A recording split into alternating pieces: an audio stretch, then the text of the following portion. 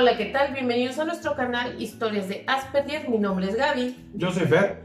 Y eh, juntos tomamos la decisión de empezar a grabar este canal de vlogs. Después de varias experiencias eh, nos dimos cuenta de que muchas personas no saben, eh, no conocen lo que es el espectro autista o síndrome de Asperger. En nuestra situación somos una familia que tiene tres hijos con síndrome de Asperger. Tenemos a nuestros tres bebés bueno, ya adolescentes, ya jóvenes adultos, que es Melina, que va a cumplir 18 años, Alonso, que tiene 15, y nuestra bebé Sofía, que ya tiene 11 años de edad. Y queremos aprovechar este medio para compartir, compartir con ustedes nuestras experiencias. Eh, queremos hacer hincapié de que pues no somos expertos, no somos psicólogos, no somos eh, psiquiatras, solamente somos un par de padres que tuvieron eh, la fortuna, eh, porque para nosotros es una fortuna, tener nuestros hijos, este, tuvieron y nacieron con esta, con esta condición de vida.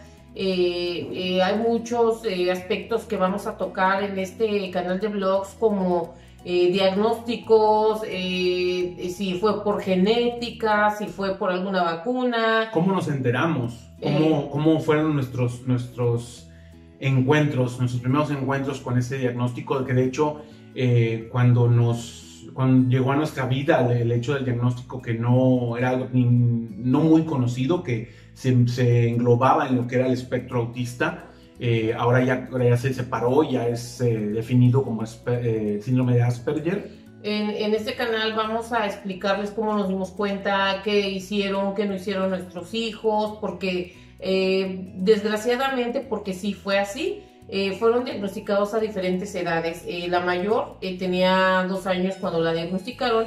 En el caso de mi hijo ya tenía nueve, no tenía diez años. nueve, diez años. Sí, nueve, diez años. Y la, la, más pequeña también fue aproximadamente entre nueve y diez años porque muchas veces podemos confundirnos. muchas veces vemos a un niño hacer una rabieta o comportarse de manera extraña y creemos que está jugando.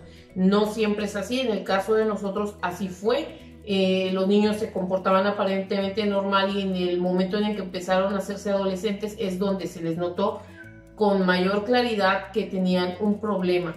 Eh, lo llamamos problema porque desgraciadamente eh, cuando te enfrentas a las escuelas aquí, al menos en la Ciudad de México o en el país que nosotros vivimos, que es México, y radicamos en el estado de Nuevo León, así ha sido. Hemos encontrado muchas, muchos topes, trabas, muchos eh, detalles para su atención médica. Para ayudas de gobierno, para asegurarlos y sobre todo para que haya comprensión con los maestros. No siempre te vas a encontrar con la ayuda, no siempre vas a encontrar gente que te... Que te Escuelas inclusivas, que te, es algo muy nuevo. Vas a escuchar mucho las palabras están con sentido, no lo sabes educar, eres un mal padre. A nosotros nos los han dicho con mucha frecuencia.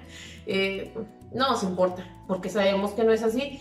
Pero eh, pues realmente este canal está enfocado para todos aquellos que quieran saber acerca de estas experiencias, para personas que tengan un miembro de su familia con esta condición ya sea un padre, un hermano, un, conocido, un tío, un familiar. Exactamente, entonces, eh, pues eh, ese es el fin de este blog, eh, es el fin de este canal, esperamos que les guste, esperamos que nos acompañen, este, que se suscriban, que nos compartan. En nuestra plataforma actualmente ya tenemos varios videos, si gustan pueden pasar por ahí a verlos.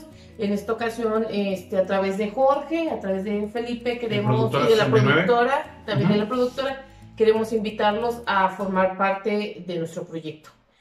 Sí, eh, por favor, eh, si es de su agrado, si es de su interés, conocer un poquito más de lo que es eh, una persona con, este, con esta condición de vida o saber un poquito más, tal vez no ustedes, pero tienen un amigo, un familiar, un conocido que le puede interesar. Por favor, que lo único que queremos, nuestro objetivo es hacer una comunidad sólida donde de padres a padres, de, de conocidos, de gente que está viviendo esto en carne, en carne propia, eh, podernos comentar, podernos eh, hacer, llegar un consejo, un cómo le hiciste o cómo un, el típico ¿qué me recomiendas? Queremos, eh, no, como digo, no somos las autoridades en el, en el tema, pero si de algo le puede servir a alguien. Nuestras experiencias. Lo que nos tocó vivir. Y lo, que hemos adquirido a través de los años, porque realmente pues nadie sabe, sabiendo ser padre, este, entonces a nosotros nos tocó un reto todavía un poco más fuerte, igual que muchas otras personas. Entonces, eh, una vez más los invitamos a que se suscriban. Mi nombre es Gaby. Fernando. Y los esperamos aquí muy pronto. Gracias. Gracias. Hasta luego.